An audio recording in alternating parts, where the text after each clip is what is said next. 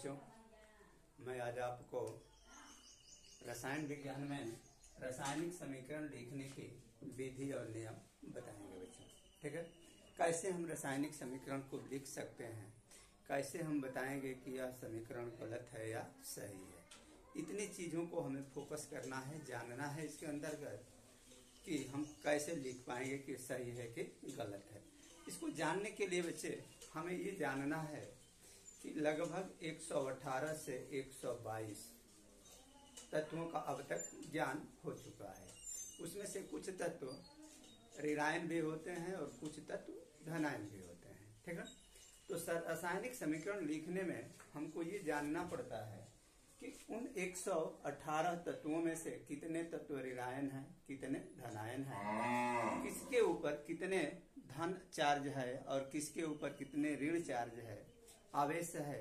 जब उसको हम याद कर लेते हैं तो समीकरण लिखने में हमें सुविधा होती है। तो हम यहीं से शुरू करेंगे। देखो बच्चे, धनायन।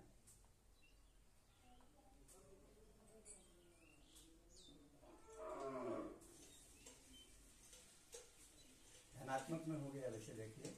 हाइड्रोजन, लिथियम, सोडियम पोटेशियम ठीक है फिर दो धनायन मैग्नीशियम फिर हो गया कैल्शियम फिर बोरान पे तीन धनायन फिर एल्यूमिनियम पे तीन धनायन ठीक है एल्यूमिनियम इसके बाद से होता है आयरन तीन धनायन कापर पे दो जिंक पे दो ठीक है धनायन ये होते हैं धानाएँ ठीक है ना? इसके बाद से हम यहाँ लिखेंगे ऋणात्मक आयन ठीक है ये हो गया ऋणात्मक आयन में हो गया देखिए hydrogen one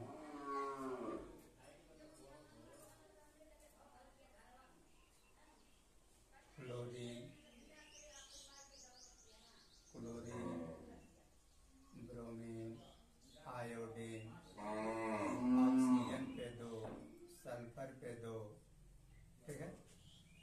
सल्फ़र पे दो। इसके बाद से नाइट्रोजन पे तीन, सिलिकन पे तीन, ठीक है? और फास्फोरस पे पे चार। ऋणायन होता है, यहाँ पर देखेंगे। कार्बन पे चार धनायन भी होता है और फास्फोरस पे भी चार। ठीक है? याद करना पड़ेगा। ठीक है ना बच्चे? इसके साथ से हमारा होता है एच एन ओ थ्री पर वन सी ओ थ्री पर दो रिलायन ठीक है? एस ओ फोर पर दो रिलायन जल में हाइड्रोजन धनायन और ओ एच रिलायन होता है। यह चीज़ें अगर हमें जब याद है तो हम बता, हम समीकरण को लिखने में हमें बहुत सुविधा होगी, हम ऊपर मिटा रहे हैं इस समीकरण को जानने के लिए। ठीक है? देखेंगे।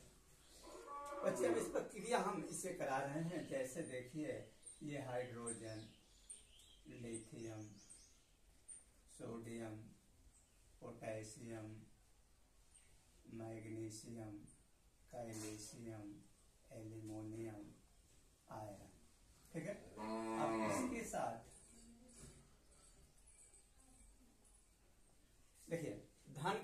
धन जो है धनात्मक जो होते हैं आयन वह ऋण आयनों के साथ संयोग करते हैं क्रिया करते हैं। इसमें से यह इसके साथ क्रिया करेगा। अब इसमें से ऋण आयन में हम क्रिया करा रहे हैं क्लोरीन के साथ। C L C L C L chlorine chlorine chlorine chlorine ठीक है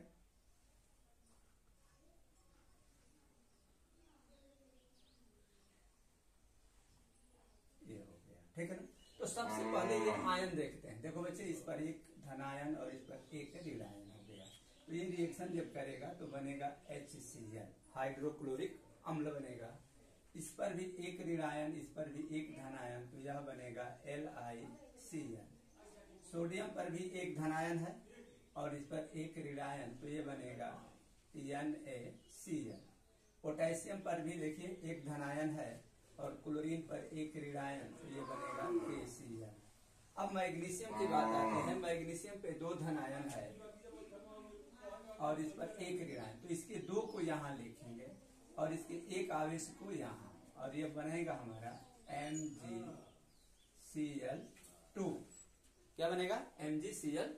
यानी जो मैग्नीशियम पर धन आवेश है, उसको क्लोरीन पर लिखेंगे और जो क्लोरीन पर ऋण आयन है, उसको हम धन आवेश पर लिखेंगे, यानी मैग्नीशियम पे लिखेंगे। मैग्नीशियम पे दो धनायन है तो क्लोरीन पर दो लिखे।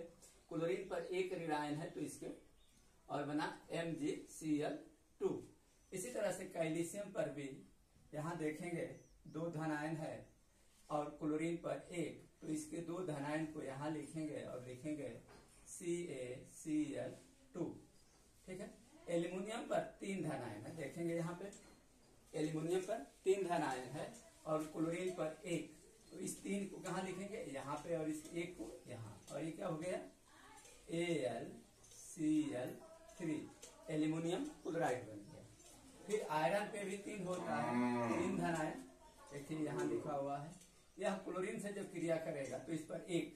तो ये आयरन के तीन धनायन को यहाँ लिखेंगे और इसको एक को आयरन के पास। और ये हो जाएगा एफ़ सी एल थ्री इस तरह से हम रिएक्शन जो है इसमें किसी भी के किसी के साथ हम कराएँगे और वह समीकरण रिएक्शन शुद्ध और सही बनेगा। ठीक है? अब इसका दूसरा हम रिएक्शन दिखा रहे हैं आपको। मान लीजिए कि यह hydrogen lithium potassium calcium magnesium aluminium इसकी हम क्रिया जो है ऑक्सीजन के साथ करा रहे हैं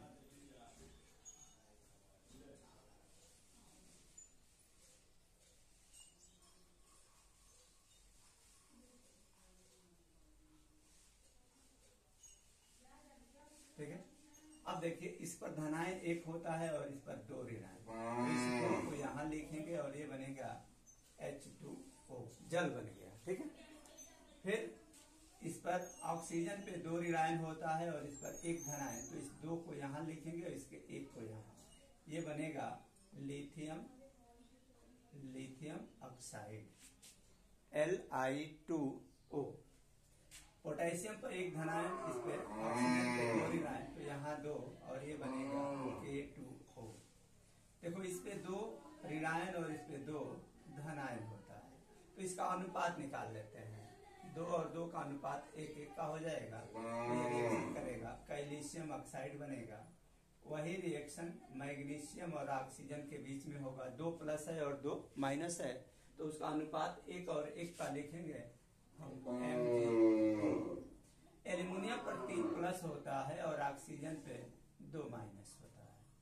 तो इस तीन को एल्यूमिनियम के जो तीन धनायन है, उसको ऑक्सीजन पे लिखेंगे और जो ऑक्सीजन का दो ऋणायन है, वह एल्यूमिनियम पर लिखेंगे। समीकरण होगा A L two O three वही प्रक्रिया यहाँ भी